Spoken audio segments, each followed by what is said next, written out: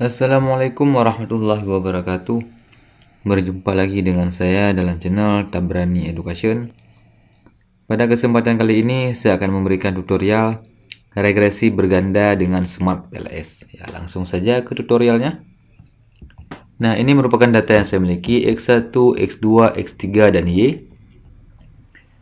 Dari tahun 2017 sampai 2021 data dalam bulanan artinya ada 60 data. Nah ini harus kita hapus.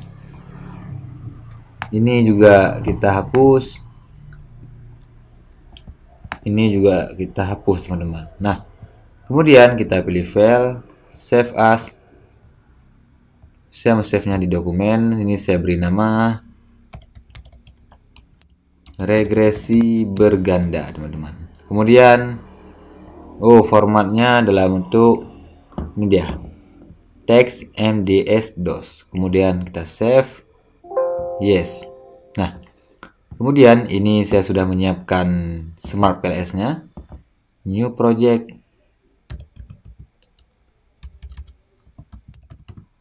Regresi berganda. Ini saya buat namanya, terserah teman-teman buat nama apa. Kemudian oke. Okay. Klik dua kali impor data di dokumen ini dia regresi berganda.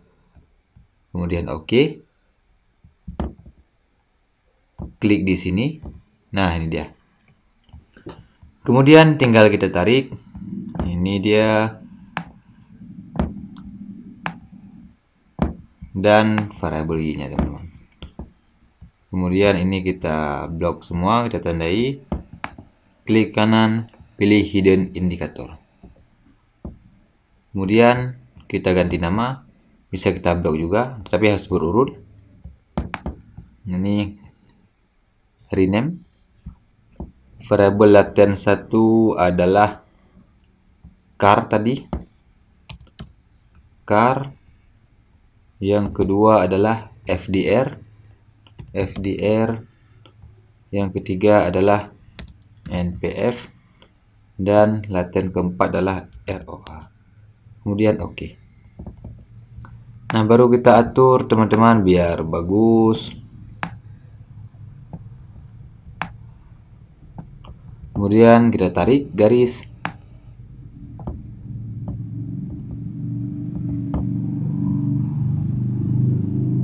Nah ketika sudah hijau artinya sudah aman teman-teman ya. Nah selanjutnya kita pilih kalkulat kemudian kita pilih board stripping. Data saya tadi ada 60 kemudian kita start calculation. Nah ini dia teman-teman. Nah di sini kita dapat melihat bahwasanya ataupun kalau kita kembali kemari nah ini bisa juga teman-teman ada di sini. Teman-teman tinggal memilih misalnya p value ini dia. Ini kalau p value kalau teman-teman mau pilih yang t value nya itu dia. Ini kalau outer modelnya. Nah tapi di inner model teman-teman nah kita pilih p value aja. Adapun kalau teman-teman ingin uh, koefisiennya nah tinggal klik saja teman-teman.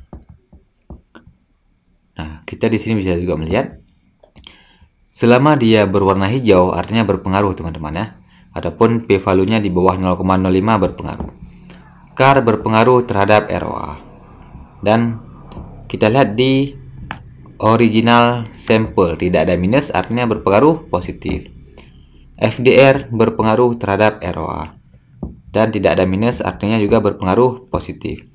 NPF berpengaruh terhadap ROA dan di sini ada minus teman-teman artinya berpengaruh secara negatif teman-teman. Sangat mudah bukan teman-teman? Nah seperti inilah tutorial regresi berganda dengan Smart PLS wassalamualaikum warahmatullahi wabarakatuh